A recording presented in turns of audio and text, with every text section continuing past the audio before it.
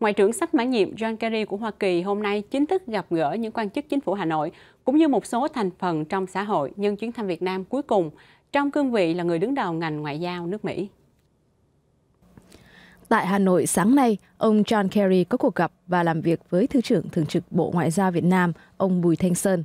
Tại cuộc làm việc, ông Bùi Thanh Sơn đề nghị Hoa Kỳ sớm công nhận quy chế kinh tế thị trường mở cửa hơn nữa cho hóa Việt Nam vào thị trường Mỹ, giảm thiểu các rào cản thương mại. Ngoại trưởng Hoa Kỳ John Kerry sau đó đến chào xã giao ông Thủ tướng Nguyễn Xuân Phúc và người đứng đầu chính phủ Hà Nội nhắc lại lời mời Tổng thống Donald Trump đến dự hội nghị cấp cao APEC 2017 dự kiến diễn ra tại thành phố Đà Nẵng trong năm nay, cũng như thăm chính thức Việt Nam.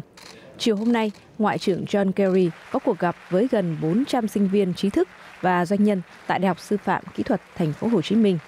Trong buổi nói chuyện, ông John Kerry nói đến lợi ích không thay đổi của Hoa Kỳ tại khu vực và bày tỏ hy vọng chính quyền mới dưới thời của Tổng thống đắc cử Donald Trump sẽ tiếp tục có những cam kết vào khu vực này. Ngoại trưởng John Kerry cho rằng mối quan hệ Việt-Mỹ không phụ thuộc vào cá nhân Tổng thống nào. Trong khi Ngoại trưởng John Kerry có mặt tại Việt Nam, giới đấu tranh bị công an mặc thường phục canh giữ hoặc là gây khó khăn. Nhà văn Nguyễn Viện, một trong những người đó cho chúng tôi biết trường hợp của ông. Hôm nay dân với cá nhân tôi thì ngay từ sáng sớm đã được một à, anh an ninh tới mời đi uống à, cà phê ăn sáng. Tôi đoán ngay là do ông Kerry đến Sài Gòn.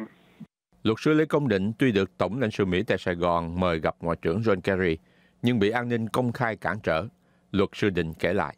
Bắt đầu tối hôm qua đó là tôi đã phát hiện thấy rất là nhiều nạn nhân chìm đã có mặt ở ngay tòa nhà tôi ở.